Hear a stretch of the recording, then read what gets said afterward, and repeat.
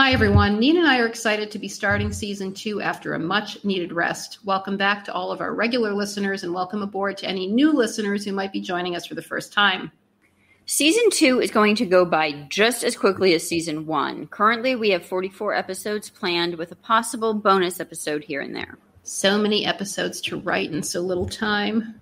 I think that so many, so little timeline would have been something you said in your younger days referring to men. nah, not me.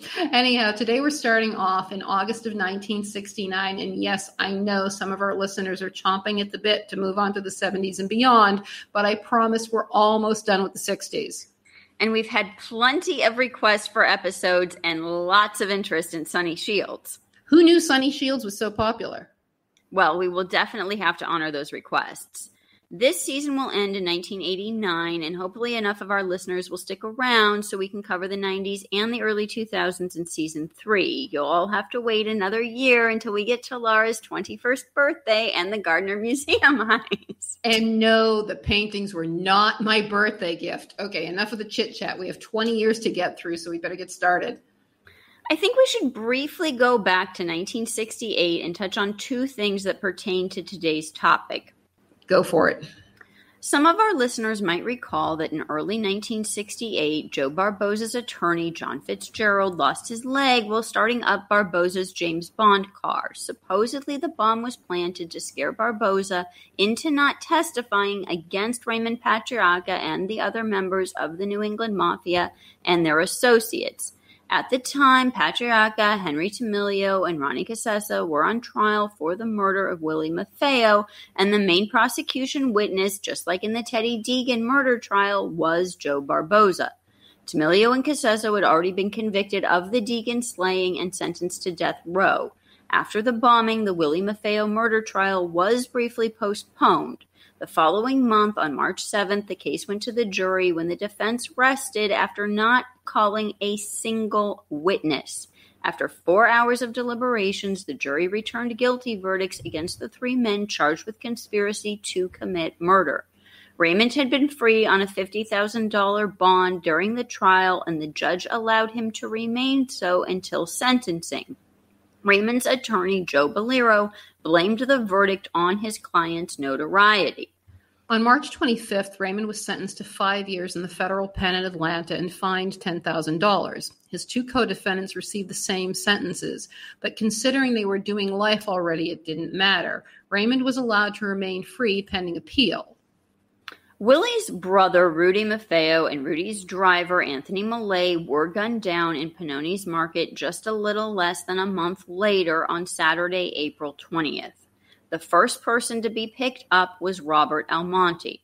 On Monday, May 28th, 1968, Almonte was arrested at his social club on Atwells Ave in Providence, Rhode Island, the same club where back in early April, the Providence PD had arrested Louis Manocchio, Rudy Sciarra, Johnny Rossi, and Dickie Calais after they received a phone call that the boys were lying in wait for Joe Schiavone.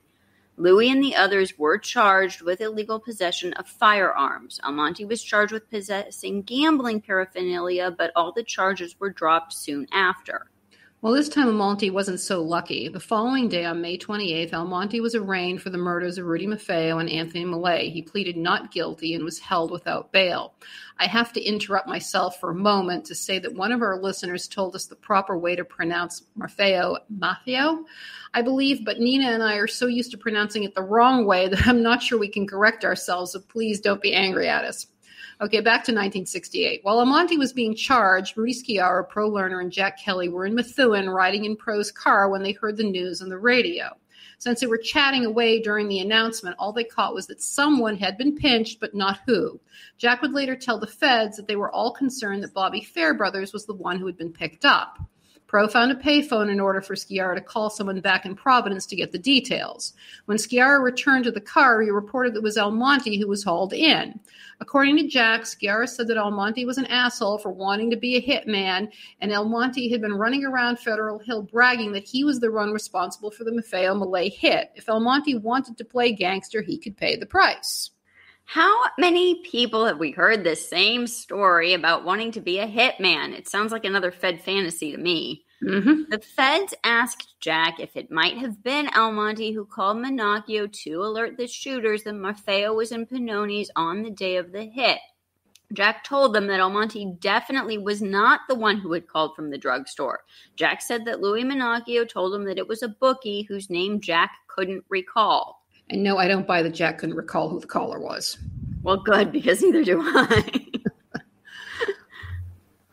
On May 31st, Almonte's hair sample was sent to be compared with those found in the getaway car. The match was inconclusive, but his sample couldn't be ruled out. Herbert DeSimone was the Attorney General of Rhode Island at that time. A hearing was set for July 2nd, but before it took place, Almonte's attorney managed to have bail set at $130,000. His sister posted bail and he was released during the July 2nd hearing. Meanwhile, on August 1st, 1968, Raymond, Tameleo, and Cassesso were indicted in state court, this time for the July 1966 murder of Willie Marfeo. They all pleaded innocent to the charges. In October, Rudy Sciarra, Bobby Fairbrothers, and Ronaldo de Pedro Antonio were indicted for the murder of Louis Aglio back on February 4th, 1967. Zaglio was supposedly killed because of a beef he had with Alfredo the Blind Pig Rossi, the father of Johnny Rossi, who we mentioned in the season one finale. Also indicted for inciting the murder were Louis Manocchio and Louis Taglianetti. To wrap up the month, Raymond, Henry, and Ronnie lost their federal appeal. In January of 1969, federal judge Francis J.W. Ford ordered Raymond to begin serving his sentence, and off to Atlanta he went. Finally, in May of 1969, Almonte's trial began. The state claimed two masked men gunned down Rudy Marfeo and Anthony Melei, but only Bobby Almonte was on trial. Several people testified on his behalf, saying that he was at the social club that he ran on Atwells Ave at the time of the double slaying. However, two of Melei's relatives testified that they saw him in the vicinity of Panonis that morning. Well, the jury must have been swayed by the testimony of Melei's family. On May 29, 1969, Almonte was convicted of the murders of Rudy Marfeo and Anthony Melei. And in a normal world, the case would have ended there, but not in New England. if you listen to the season one finale, you'll recall that Jack Kelly was arrested on May 14th, just two weeks prior to Almonte's conviction. On June 6th, he turned state's evidence, and the tale of who killed Rudy Marfeo and Anthony Melei would take on a whole new life. If you want to hear more about Jack's statements to the Fed regarding the Marfeo Melei hit, please listen to episode 47 from last season. All summer long, while in the safe hands of the U.S. Marshals, including John Partington, Jack began to dole out his own version of justice. He provided details of both crimes committed and planned, but oddly enough, none that he actually committed. Although he did place himself at the golf course behind Louis Manocchio's house during the Marfeo Melei hit. True, but considering the number of heists he was involved in, it was unusual that he never copped to one he actually com- committed. Most notably, the Plymouth mail robbery was absent from his statements. Well, at a later date, Sonny Diaferio tried to confess to it. Not now. Okay, okay. Besides the Marfeo Melei hit and the Brinks robbery from December of De- from December of 68, Jack gave statements in grand jury testimony against Ben Tilley and Charles Domenico for the VA robbery. And more importantly, he told the grand jury that Jerry Angiulo laundered the money from the VA heist. We won't be covering that today. Jack didn't limit his justice to Massachusetts and Rhode Island. He also gave testimony against Carlo Gambino, Butchie Maselli, and Pro Lerner. Jack claimed that they were planning to take down an armored car service in New York for three to five million dollars. Gambino and Butchie wouldn't be arrested until March of 1970, and like the VA, we will not be covering that case today.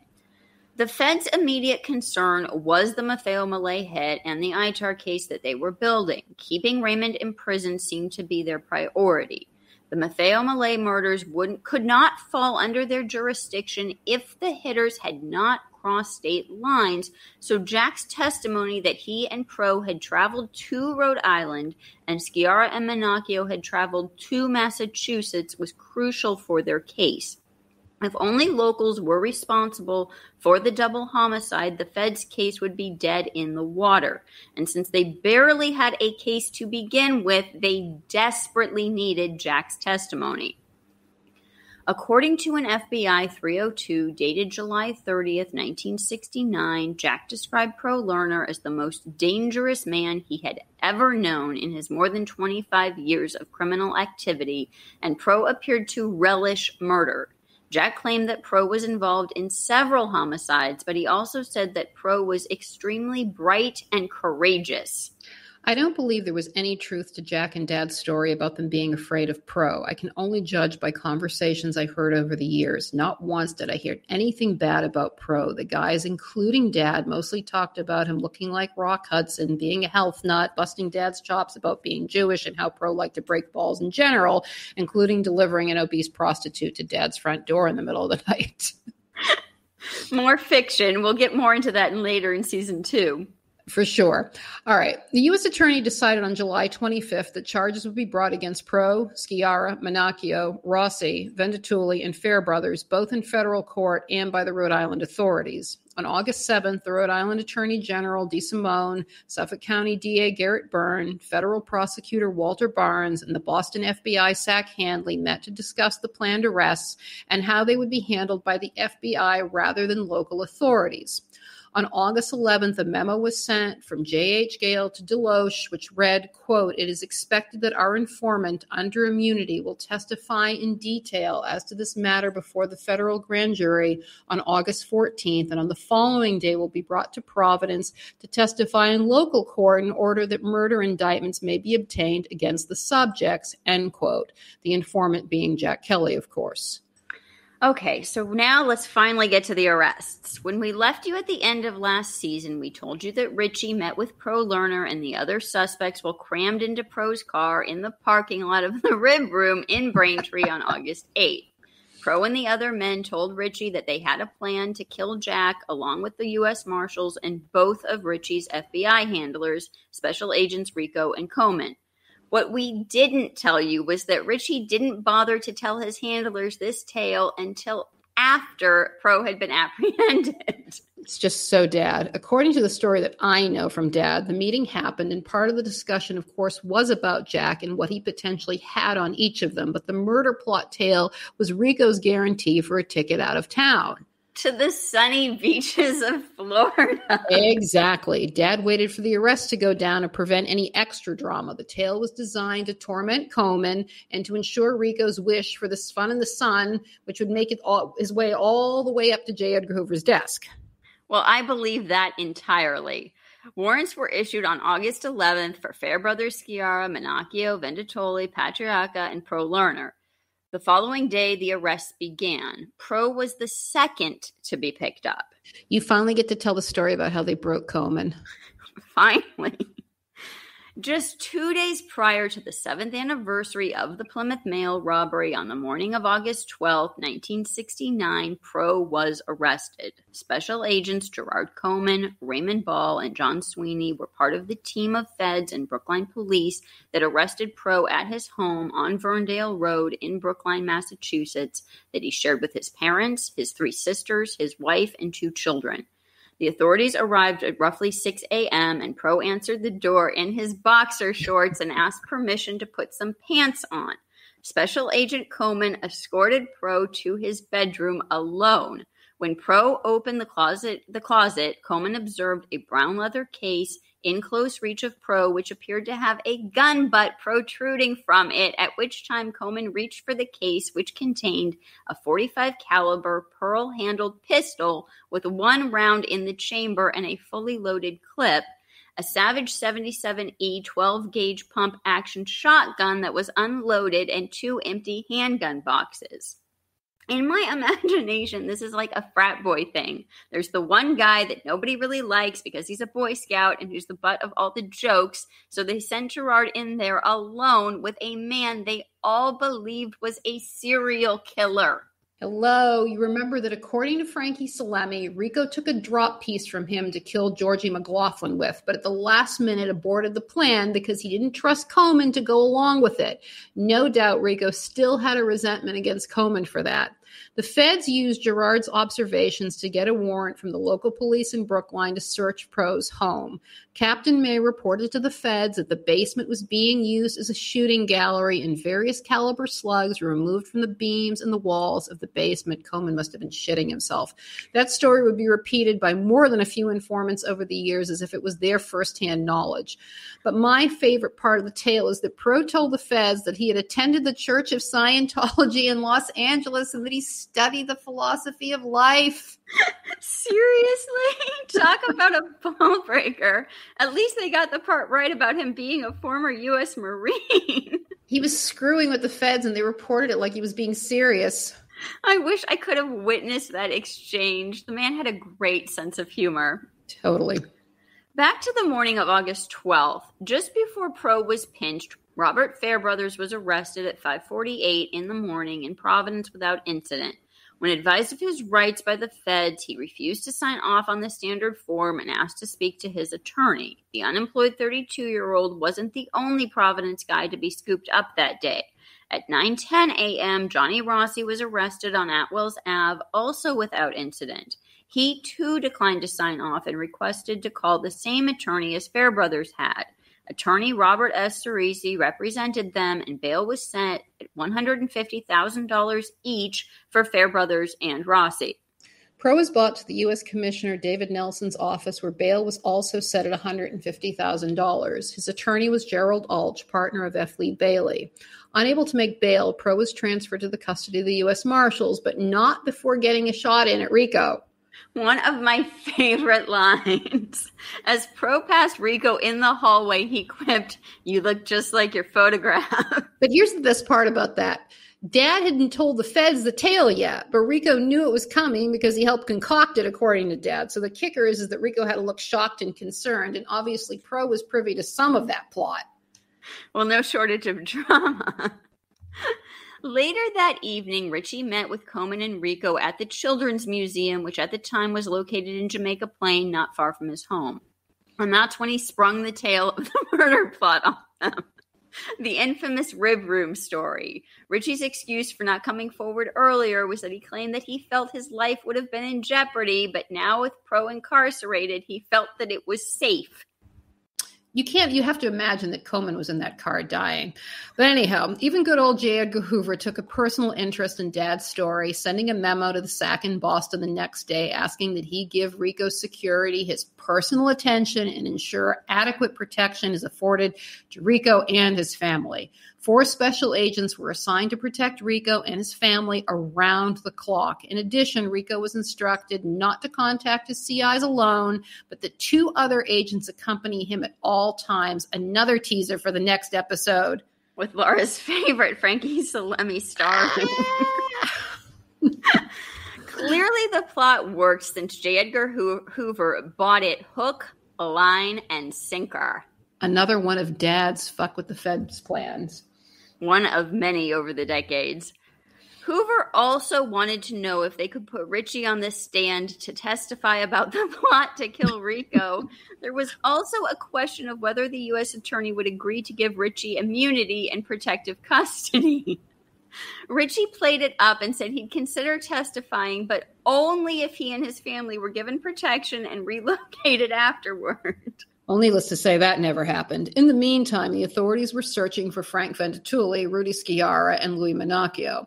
Their friends and family members were questioned as to their whereabouts. And when Socket Man offered to give up Sciarra's location in exchange for two grand, Three days later, on August 15th, Sciarra was apprehended in a pre dawn raid at the residence of Joseph Ambrogio in Upton, Mass. by Assistant Special Agent Rampton, Special Agent Kehoe, Sweeney, Ring, and Ball, who found him sleeping in a first floor bedroom. Special Agent Ball advised Sciarra of his rights, but like Fairbrothers and Rossi, he refused to sign off. After his arraignment, a hearing was scheduled for August 25th. Like Pro Lerner, Sciarra was transferred by the marshals to the Worcester County House of Correction. Well, you'll notice the Kehoe just had to be there for that one. Oh, yeah. In case anyone was wondering, the conviction against Robert Almonte was cleared after his attorney filed for a motion for a new trial. Another name to add to the list of the wrongfully convicted. or not. We'll get into our theories about who the real murderers might have been, or more accurately, who they most likely weren't later on, and Almonte will be making more appearances this season. The same day that Sciarra was arrested, Pro's bail was decreased to $50,000. Doesn't it strike you as strange that his family didn't use the 87 Verndale Street property to secure the bond for Pro's release? Well, it's very strange considering that his father owned the property, but maybe Alch advised Pro and his family that it was pointless. Oh, probably. Sciarra had no problem making bail. He was released on August 19th on $50,000 surety bond. He was also represented by Cerisi. But not for long. He was promptly rearrested by Rhode Island authorities and sent to ACI Howard to face several other charges. The previous day, Rossi and Fairbrothers had both been released on $40,000 surety each, and they too were rearrested and shipped off to Howard. Let's backtrack a couple of days to when Sciarra was pinched. Frank Imbruglia was stopped just after midnight at the intersection of Social Street and Diamond Hill Road in Woonsocket, Rhode Island, by ASAC Rampton and Special Agent Keogh as they believed he knew the location of Sciarra. Of course, he wasn't in Imbruglia's car, but Imbruglia did know where Sciarra was, and that's how the feds made their way to Ambrogio's house in Upton. The feds knew they had no grounds to hold Imbruglia, but their bluff paid off. He would also later confess to having rented a motel room for Rudy in Revere, Mass. In the meantime, Dad was busy with his disinformation campaign. On August 24th, he met with Special Agents Coleman and Welby at their usual meetup spot, the Old Children's Museum. Dad told them that on August 20th, Pro's wife had come to our family store on Charles Street in Boston. According to his tale, attorney Alch told Renee, who's Pro's wife, to see Pro, who was by then being held at the Dedham House of Correction. Pro told his wife to relate to Dad that after his bail hearing, that he would look for a new attorney. And that's how he ended up with Ronnie Chisholm. Exactly. Anyone who wants to hear a little bit more about Ronnie's early days should listen to episode 26, The Defense Never Rests. Renee or Frank Capizzi would contact Dad to tell him who the attorney would be, and Dad would then falsify documents regarding the Marfeo Melei murders. Supposedly, part of the statements would include that Jack was testifying out of spite. Dad was to state that he had been Jack's driver for nearly a decade and that he was to testify about Jack's mental capacity well, lack of mental capacity was the implication. the Alzheimer's story had already been cooked up, another teaser for later in the season. Ritchie also stated that he was to contact Stephen Jacobson, a close friend of Frank Capizzi and Pro, if he needed money. Jacobson would then get the money from Louis Manocchio. What a twisted thread that was. But Richie had more. the story continued that Pro was worried that Roy Appleton, Paul Christie, and Billy Kenny would testify against him, so Pro was looking for someone to take them out. But I want to know who the hell Stephen Jacobson was. You got me. I asked you that, and you didn't know either. Clueless. Billy Kenny went on to own some Tony Beauty Salon in Wellesley. Christie was related to someone in the Rhode Island crew, and you figured out you figured that part out. And Roy eventually, you know, killed himself when he had because he had cancer. But I, I don't know who Jacobson was. What I do know is that Ritchie really didn't like Capizzi and Imbruglia. no question about that. Now, here's where the story gets even nuttier. Supposedly, Rudy Sciarra sent word up through Paul Christie that Billy Kenny was supposed to get whacked. Dad warned Kenny, who, according to Dad, was going to sell his boat, buy a Cadillac Eldorado, and take it on the lam. Yeah, like the Eldorado would go unnoticed. and the tale gets wilder. Ritchie told the feds that, quote, that bastard Lerner got what he deserved, unquote. The feds asked him what he meant by that. Ritchie said that Pro was a sadistic killer who got his kicks off of watching people bleed. He said that Pro bragged to him how he shot Billy Aggie in the head with a 45 while they had a casual conversation. That 302 has been quoted more times than I even want to think about. I'm surprised how many others claim that story is their own, but there's no shortage of liars in any of these tales. The following day, on August 25th, Dad met with Welby and Coleman for a second time, but this time at Arby's Roast Beef on Route 1 in Dedham. He wanted to report on a conversation he had on August 21st with Frank Capizzi and Stephen Jacobson in front of the Prudential Center in Boston. Why didn't he tell them about that meeting when he met with and Coleman the day before? That makes no sense. Knowing dad, it wasn't because they were pressed for time or something. It was because he hadn't concocted the story yet. The story goes that Jacobson excused himself and Capizzi sat in dad's Chrysler station wagon. Dad actually used to call it a beach wagon. It belonged to the store. They used it to deliver the groceries. Anyhow, Capizzi told dad that Manocchio had decided that dad needed to get out of town until after the Marfeo Melei trial began. Capizzi also told him that Christie and Kenny were still in the hit parade, and so was Imbruglia, but Imbruglia escaped death because his parole had been violated. And Richie had to retell one of his favorite stories about what a great liar he was. the story about how he went on the radio during the Plymouth mail robbery investigation and said he was a double agent for the postal inspectors and the feds. Oh, well, actually, Dad was a triple agent because he dragged. Lee Bailey into that saga. If you want to hear about that, you can also find that story in the Defense Never Rests episode.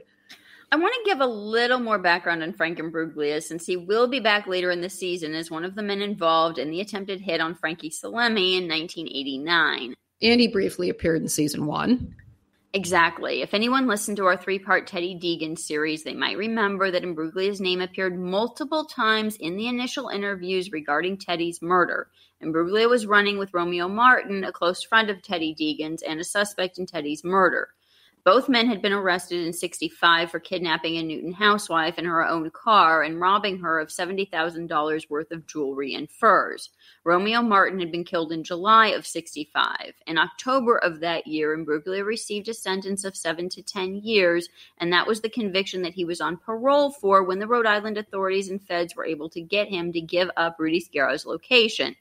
That parole violation likely saved his life, but it opened up an investigation into have his been have as his ugh, my goodness, an investigation into his having been granted parole in May of '69. Imbruglia made sure that he was arrested along with Rudy to make it look like he was forced to cooperate with the feds. The agreement with the FBI was that he would be released on bond and the charges for harboring Rudy would be dropped.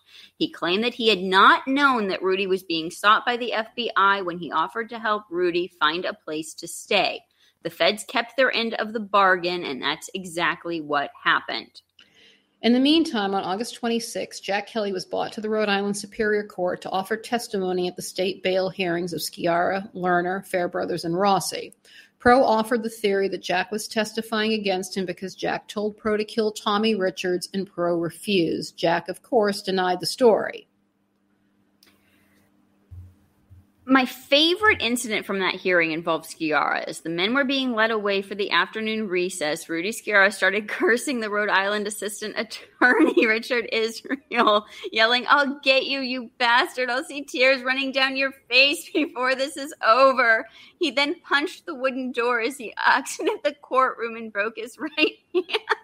Idiot. when they returned from the break, Rudy's attorney had to ask the judge for permission to take Rudy to the hospital for x rays and a cast. Richard Israel is still alive. I would love to get an interview with him. I wonder if he can still remember all of that, probably. The four were returned to Howard and held without bail based on Jack's testimony. Let's not forget Raymond Patriarca was charged along with the others. Their trial wouldn't begin until March of 1970. We'll be discussing the trial in episode 5.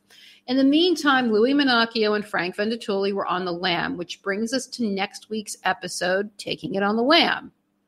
And it wasn't just those two. Mello Merlino, Mello Merlino was hiding out in order to avoid being arrested for the 1968 Brinks heist, which we covered in episode 46.